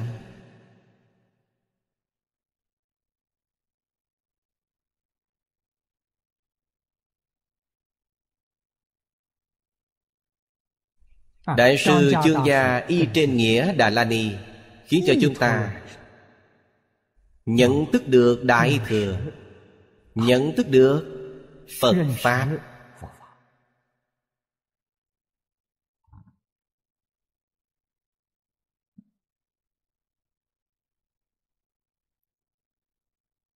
Nghĩa lý của Kinh giáo. Từ trong tự tánh mà lưu xuất ra. Cho nên nó không phải là văn tự của nhân gian. Không phải là ngôn ngữ của nhân gian. Nó là từ tự tánh lưu xuất ra. Cho nên văn tự kinh văn không sâu. Câu câu chữ chữ, Ý dị vô cùng. Những nghĩa lý này, Pháp dị vô cùng. Tùy theo từng thứ công phu tu học Của bản thân quý vị. Một bộ kinh. Lúc mới sơ học đọc kinh này Nhìn thấy ý nghĩa không nhiều lắm Rất quan hỷ. Sau 10 năm xem lại từ đầu Ý nghĩa không giống nhau nữa Nâng cao rồi. Quý vị 10 năm sau nữa là có thể nâng cao hơn nữa. Cho nên kinh sách này Quý vị đọc cả đời đọc cũng không chán. Vì sao vậy? Mỗi lần đều có ý nghĩa mới xuất hiện. Tâm quý vị càng thanh tịnh, Quý vị phát hiện càng nhiều. Nếu như tâm tịnh hời hợt, Quý vị sẽ không đạt được gì cả. Vậy nên, Tâm thái học tập quyết định thành tựu của quý vị. Đó là điều mà Ấn Quang Đại Sư đã nói. Một phần thành kính. Quý vị nhìn thấy một phần ý nghĩa. Hai phần thành kính quý vị nhìn thấy được hai phần ý nghĩa. Mười phần thành kính quý vị liền thấy được mười phần ý nghĩa. Giang tự của kinh mỗi một chữ cũng không có thay đổi. Quý vị nhìn ra ý nghĩa của nó sâu cạn trọng hẹp nhất định không giống nhau. À, Nghĩa lý sâu cạn rộng hẹp có phạm vi hay không? Không. có không có biên tế. Cho nên thật sự kiến tánh Đại khai viên giải Trong một bộ kinh thấy được vô lượng nghĩa. Mười phương thế giới chư Phật Như Lai nói Tất cả ý nghĩa của kinh giáo. Quý vị có thể trong một câu, một chữ Nhìn ra được. Thế nên Trong kinh Phật mới nói Phật Pháp không ai nói Tuy trí cũng không hiểu được. Là lời trong Kinh Hoa Nghiêm. Phật Pháp nhất định phải có người giảng Người nào giảng Người thật sự có thật tu Có thật chứng giảng. Tìm không ra người chứng quả Chúng ta cũng phải tìm cho ra người thật sự tu hành. Họ có tâm đắc thể hội về sự tu hành của họ Chúng ta sẽ được lợi ích. Nếu như Họ có thể đọc Đọc được rất nhiều Họ có thể giảng, giảng được rất nhiều Họ đều không làm được gì. Vậy thì không cần phải tìm họ. Chúng ta tìm bản thân là được rồi Hà tất phải tìm họ. Dùng lời hiện đại mà nói Họ đem kinh điển Phật giáo xem thành một môn học thuộc để nghiên cứu. Gọi là Phật học. Chứ gì nhất định phải nhớ kỹ Học Phật và Phật học là hai chuyện khác nhau. Học Phật mới có thể hiểu được nghĩa chân thật của Phật. Không học Phật Nghiên cứu kinh Phật Không học Phật Thì họ đạt được là Phật học thường thức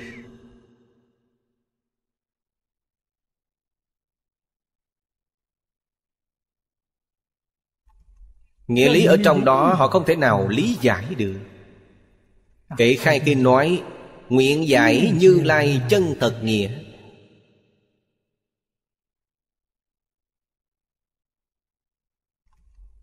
Như lai chân thật nghĩa từ đâu mà có? Từ trong thanh tịnh bình đẳng giác mà lưu xuất ra. Tâm của họ không thanh tịnh Không bình đẳng. Mê mà không giác. Họ làm sao có thể hiểu được Như lai chân thật nghĩa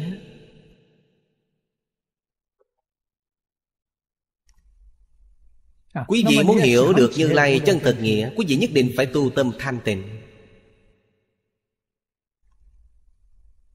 Trong tâm thanh tịnh không có tạp niệm Không có phiền não à, Họ mới sanh trí tuệ.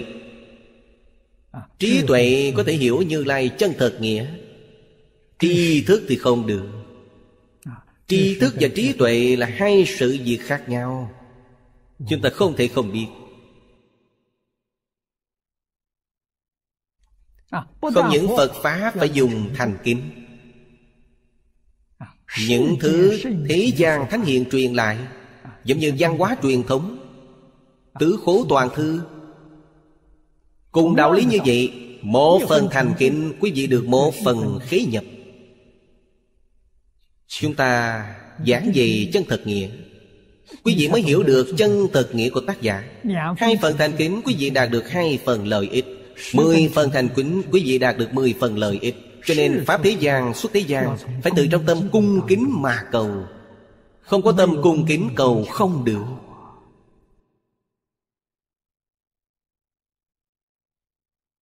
Không phải là thầy giáo không chịu dạy Mà vì học trò không có tâm cung kính.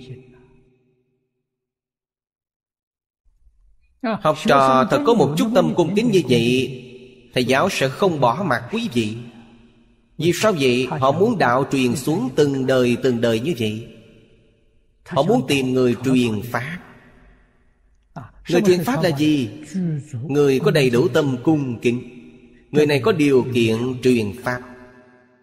Không có thành kính, Họ sẽ không có tư cách truyền Pháp. Chính là đạo lý này vậy. Không phải là miễn cưỡng. Miễn cưỡng thì không được. Tôi một đời sanh trong thời loạn lạc. Lúc còn trẻ khổ không thể kể xiết. Trải qua Cuộc chiến tranh Trung Nhật 8 năm. Tám năm sống cuộc sống lưu vong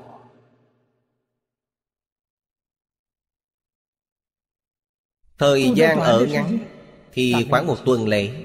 Thời gian dài một chút thì khoảng ba tháng. Lại đi.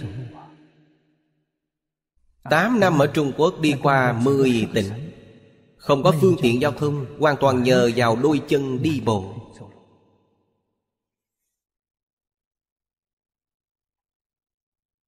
À, Tính ra ít nhất cũng đi hơn Hai ba dạng dặm đường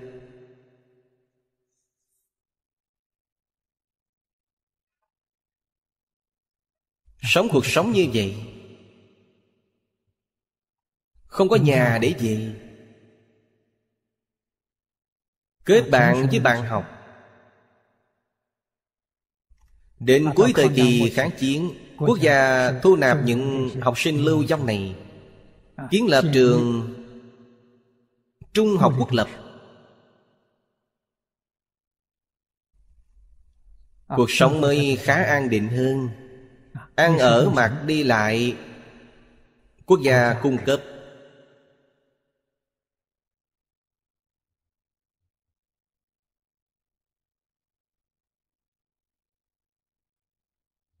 Cho nên vô cùng vô cùng đau khổ.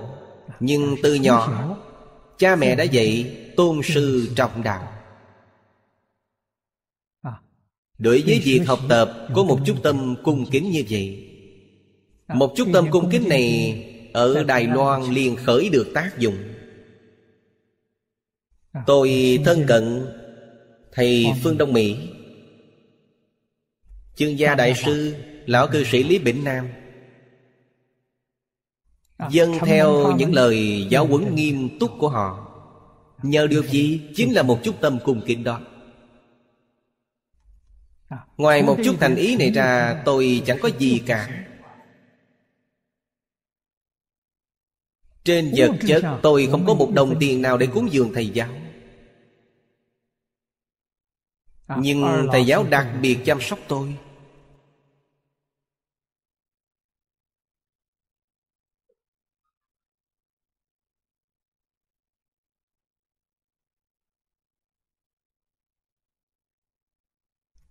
Nếu dùng cách nói thông thường Thì sở trường của tôi chẳng có gì cả Chỉ là trung thực Nghe lời Thật làm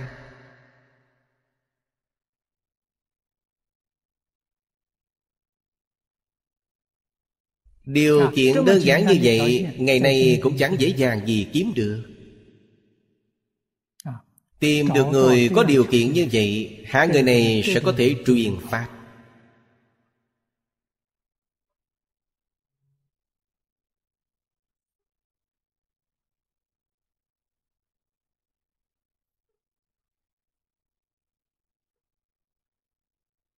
cho nên đây là chúng tôi nói cũng có thể quay là một công năng đặc biệt. Mắt có thể nhìn thấy mà người thông thường chúng ta không nhìn thấy. Đây là họ có công năng đặc biệt thiên nhãn. Tai nghe được âm thanh mà người thông thường chúng ta không nghe được họ có thể nghe được. Đây cũng thuộc về công năng đặc biệt tất cả những hiện tượng dĩ thường đều phải dùng kinh phật làm tiêu chuẩn để suy lường. Có thể lấy dùng họ có thể học tập hay không nhất định phải căn cứ vào kinh giáo vậy thì không sai được. Cho nên đà la ni và minh minh là phật phóng quang. Lời phật nói trong quang.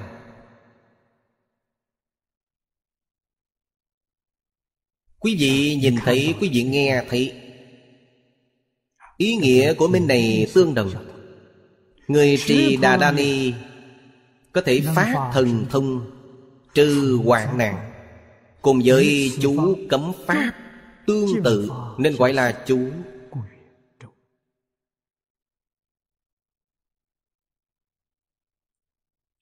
đây là nói gì chú ngữ. Chú ngữ trong mật tông rất nhiều. trong đại thừa có.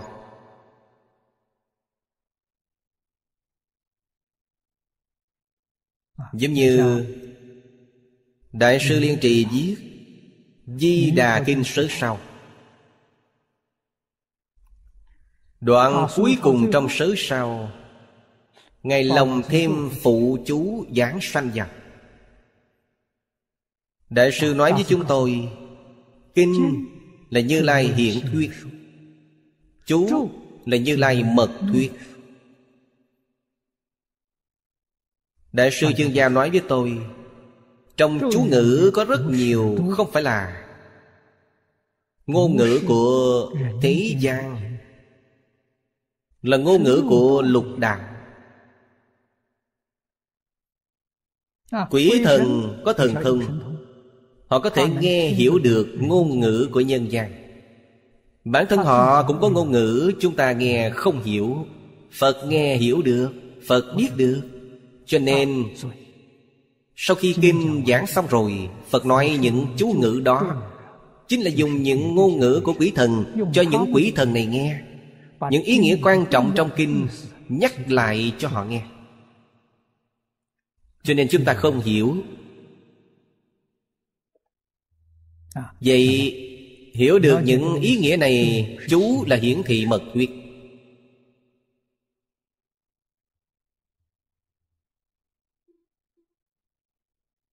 Hiển là hiển thuyết về chú. Hiển mật không hay.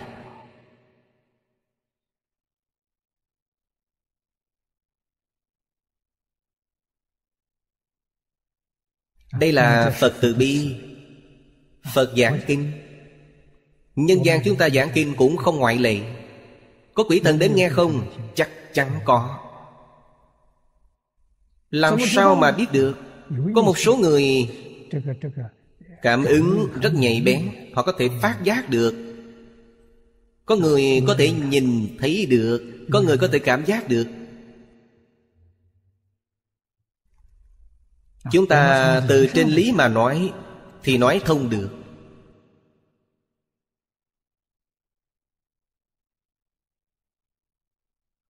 Tuy trong vũ trụ này có rất nhiều tầng không gian khác nhau.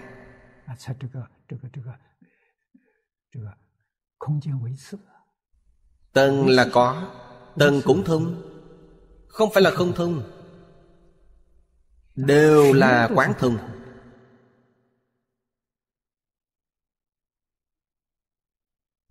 Cho nên người hữu duyên họ có thể đột phá được. Người hữu duyên chính là người đầy đủ điều kiện. Không đầy đủ điều kiện Họ liền bị nó làm chướng ngại. Người đầy đủ điều kiện chướng ngại sẽ không còn nữa. Trong điều kiện này quan trọng nhất chính là tâm thanh tịnh Là tâm chân thành. Tâm thanh tịnh có thể đột phá được từng không gian. Tâm trí thành cũng có thể đột phá được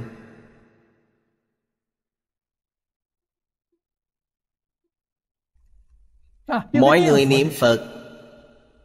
Nhất tâm niệm Phật. Niệm được vài năm Tâm thanh tịnh rồi. Dòng niệm không còn nữa. Gọi là phiền não khinh trí tuệ trưởng. Năng lực của họ đã hiện tiền rồi. Họ cũng có thể nhìn thấy Cũng có thể nghe thấy Cũng có thể tiếp xúc được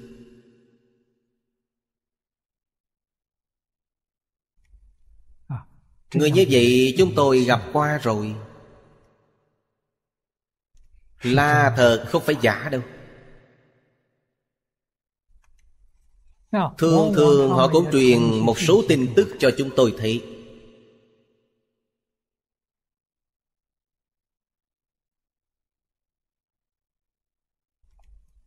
Vậy nên Người niệm chú Người tu pháp môn này Có thể phát thần thông.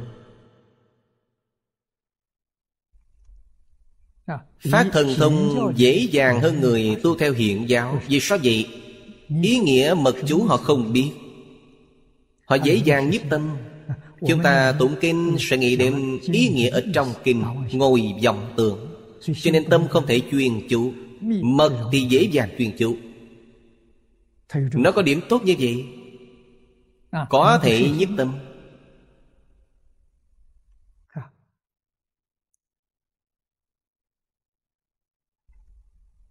Định Và trí tuệ Có thể trừ hoạn nạn. Chúng ta nói tiêu tai miễn nạn.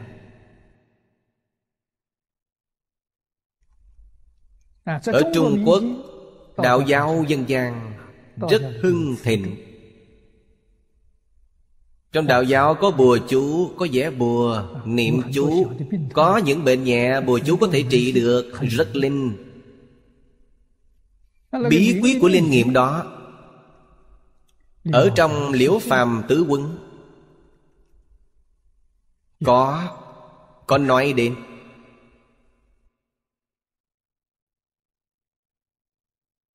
Như thế nào mới linh? Vẽ một lá bùa. Nét bút này vẽ xuống Đến khi vẽ xong hoàn thành lá bùa rồi. Không có một vọng niệm nào. Thì lá bùa này mới linh. Cùng một đạo lý như vậy Chúng ta niệm chú này cũng như thế Chú này niệm xong rồi Trong đó không có một vọng niệm nào Không có một vọng tưởng nào Thì chú này sẽ linh. Cho nên chú càng dài Thì năng lượng càng lớn Vì sao vậy? Định công của quý vị càng dài. Thời gian càng dài Thì hiệu quả của nó càng lớn. Chú ngắn chính là A-di-đà Phật. A-di-đà Phật cũng là câu chú Không phiên dịch. Phật A-di-đà nói, Nếu như sức mạnh của một câu nhỏ, Sức mạnh của mười câu lớn, Sức mạnh của một ngàn tiếng thì càng lớn. Dùng pháp thập niệm Hữu dụng. Trong đó xen tạp vọng tưởng thì không hữu dụng nữa. Quý vị đã làm cho nó bị phá hoại rồi. Cho nên nói nguyên lý là một. Thật sự hiểu được nguyên lý Vậy đọc kinh có hữu dụng hay không? Đương nhiên hữu dụng. Trong niệm kinh Nếu như không có một vọng niệm Kinh này Có thể trừ hoạn nạn đây chính là điều Đức Thế Tôn đã nói Chế tâm nhất xứ vô sự bất biện. Chúng ta dùng kinh, dùng chú, dùng bùa Những thứ này làm công cụ. Mục đích là gì? Mục đích là chế tâm nhất xứ. Thật sự có thể giải quyết vấn đề. Cho nên mật chú và nơi này Cũng như phương pháp giải bùa của đạo giáo Trung Quốc Niệm chú này tương tự nhau đây gọi là chú. Phàm phu nhị thừa không thể biết cho nên gọi là mật ngữ. Chú phàm phu không biết. Thanh văn duyên giá họ cũng không biết được. Ai biết được? Phật biết được. Pháp thân bồ tát mới biết.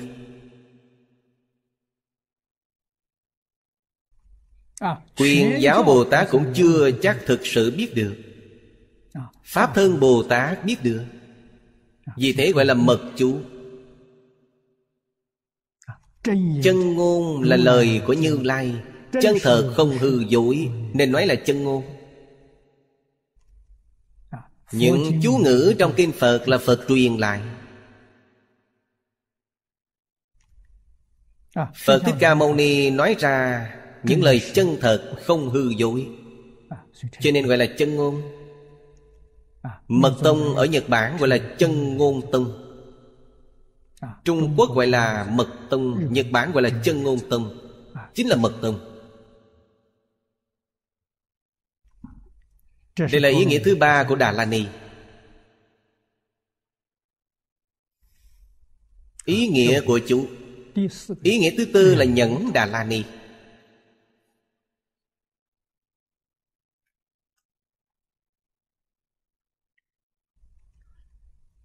Thật tướng an trú nơi Pháp. Nên gọi đó là nhẫn. Trì nhẫn. Gọi là nhẫn Đà La Ni.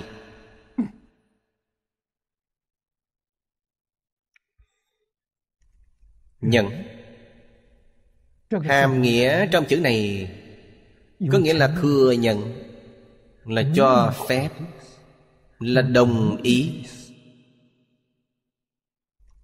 Phật trong giáo lý Đại Thừa Nói đến chân tướng của tất cả Pháp. Chúng ta nghe xong rồi. Không hoài nghi. Có thể thừa nhận. Có thể khẳng định.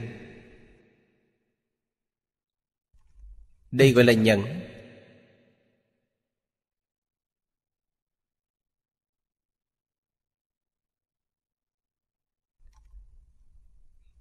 Có thể trì nhận. Trì là bảo trì.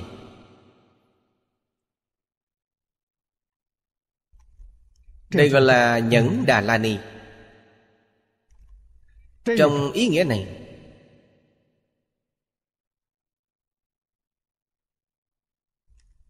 Quan trọng nhất của điểm ủng hộ này Vẫn là trí tuệ Không có trí tuệ Thì quý vị không tin tưởng. Ví dụ như chú này Rất khó để khiến cho người ta tin tưởng.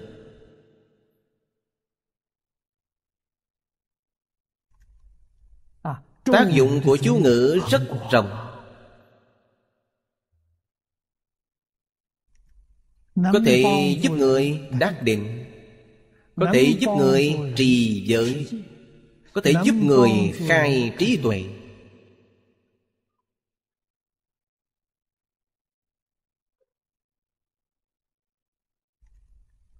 Hơn nữa có thể giúp người trị bệnh. Quý vị xem trong Đại Tạng Kinh Rất nhiều chú ngữ trị bệnh. Đáng tiếc là hiện tại như thế nào? Hiện tại không lên nữa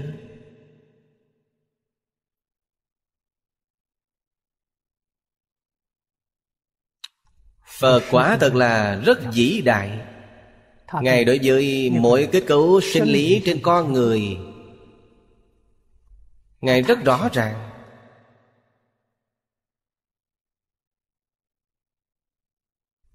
Thật sự thấu rõ rồi. Con mắt của họ còn lợi hại hơn cả kính thấu thị. Thân thể quý vị có bệnh Xảy ra vấn đề. Họ đều nhìn thấy. Dùng phương pháp gì để giải quyết vấn đề cho quý vị? Dùng chú ngữ. Chú ngữ là âm thanh. Nói cách khác dùng âm thanh Để đem bộ phận có vấn đề của quý vị Làm cho nó chấn động Làm cho nó mở ra Giống như kinh mạch vậy. Họ khơi thông cho quý vị Khôi phục trở lại như bình thường. Vậy là bệnh quý vị không phải đã lành rồi sao? Phương pháp của Trung Quốc là dùng châm cứu Dùng massage Dùng đấm bó Là cùng một đạo lý như vậy Họ dùng âm thanh. Phương pháp cao minh nhất này. Họ dạy quý vị niệm chú. Quý vị sẽ niệm theo phương pháp của họ. Cho nên Những chú ngữ này ghi chép lại Hiện tại không có ai biết niệm. Âm phải chính xác. Nếu âm không chính xác là sai rồi. Vì vậy hiện tại không có ai có thể niệm nữa. Nhất định phải khẩu truyền. Giang tự không có cách gì cả. Đặc biệt là văn tự. Văn tự ngày xưa và hiện tại khác nhau. Trong đó còn có phiên âm Gọi là nhị hợp. Hai chữ phiên thành một âm Ba chữ phiên thành một âm Quý vị xem trong chú ngữ Thường thường có những tình hình như vậy. Cho nên nhất định phải khẩu truyền. Đức Thế Tôn năm xưa tại thế gặp người có bệnh, liền dạy họ niệm gì? Họ niệm như vậy là lành bệnh. Bệnh sẽ lành được. Điều này rất phù hợp với đạo lý khoa học. Nó không phải là mê tín. Thật sự có lý ở trong đó. Không có gì là thần bí. Hoàn toàn là dùng âm thanh để chấn động. Điều chỉnh những chỗ có vấn đề trong thân quý vị. Massage còn phải dùng tay Nó không cần động đến tay. Là phương pháp trị liệu cao minh nhất. Trong thiên Phật có rất nhiều thứ Hiện tại đều không dùng được nữa. Chúng ta biết. Trong Phật giáo Có một số văn tự ghi chép. Thời nhà đường vẫn còn hữu dụng. Còn có rất nhiều người Dùng những phương pháp chú ngữ trong kinh Phật để trị bệnh. Đời nhà đường trở về sau Dần dần bị thất truyền. Âm niệm không giống nhau.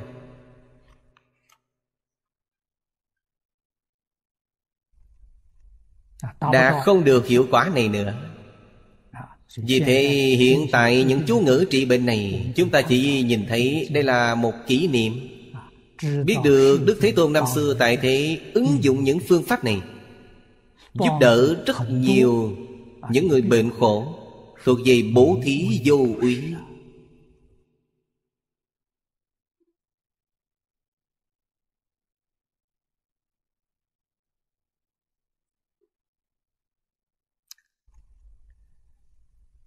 Đà La Ni Chúng ta chỉ học đến ngang đây. Dưới đây nói thập phương nghe danh đại sĩ Đều đắc Đà La Ni như trên.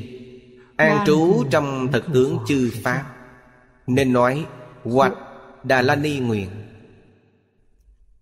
Đây là tổng kết. Thập phương thế giới Không phải là Bồ Tát ở thế giới cực lạc. Thập phương thế giới bao gồm cả chúng ta ở trong đó Ngày nay chúng ta nghe danh Nhất tâm cầu sanh tịnh độ. Đây là cự ly cách tịnh độ rất gần rồi. Người còn chưa phát tâm Muốn cầu sanh thế giới Tây Phương Cực Lạc Nghe đến danh hiệu của Phật A-di-đà. Họ đắc được Đà La Ni Bốn loại Đà La Ni này Bất cứ một loại nào đều gọi là đắc Đà La Ni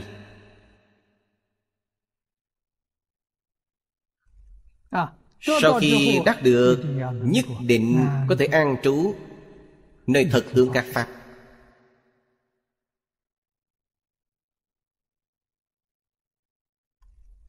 Phải hiểu rõ.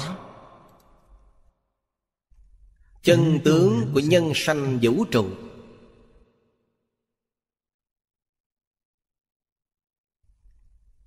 Bốn loại Đà La Ni Cùng với thật tướng các Pháp Có liên quan. Nếu như Chúng ta không hiểu rõ Đối với thật tướng các Pháp Thì tổng trì không đạt đến được. Quý vị xem Tổng nhất thiết Pháp Trì nhất thiết nghĩa Đây chính là nói Làm cho toàn thể Phật Pháp Tất cả Pháp mà Đức Phật Thích Ca Mâu Ni Giảng thuyết trong 49 năm, Tổng cương lĩnh của nó đều nắm được hết. Tâm của quý vị sẽ không dao động nữa. Quý vị chắc chắn rồi. Hiện tại chúng ta nói Tất cả Pháp Mà Đức Thế Tôn thuyết trong 49 năm. Pháp môn tổng trì thứ nhất là gì? Nói với quý vị rằng, Đó chính là Kinh Vô Lượng Thọ. Trong Kinh Vô Lượng Thọ, Tổng trì Đà La Ni thứ nhất là gì? Chính là 48 nguyện. 48 nguyện, tổng trì Đà La Ni là gì? Chính là một câu danh hiệu. Nắm bắt được một câu danh hiệu này, Quý vị liền được pháp môn tổng trì. Quý vị liền đạt được Đà La Ni. Phật A-di-đà phát nguyện này Là hy vọng quý vị nắm bắt được toàn bộ cương lĩnh của Phật Pháp. Tổng kết lại chính là Nhất tâm xưng niệm.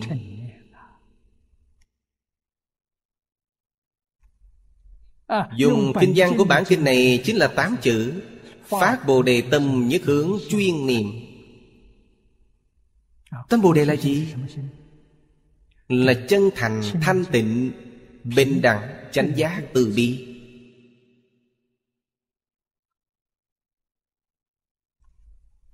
Mười chữ này chính là tâm Bồ Đề.